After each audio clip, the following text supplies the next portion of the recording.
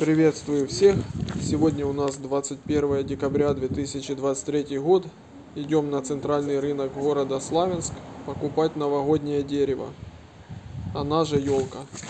А так, это обычная наша донецкая сосна, которая рядом и произрастает.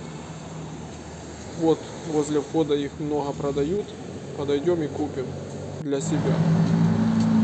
Елочку купили, Теперь можно посмотреть на других покупателей, прохожих, которые ходят, бродят возле рынка.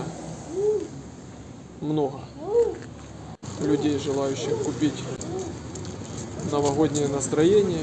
Дорого, правда, в этом году, но покупать надо. Праздник он один раз в год такой, поэтому все бегут на рынок за елкой.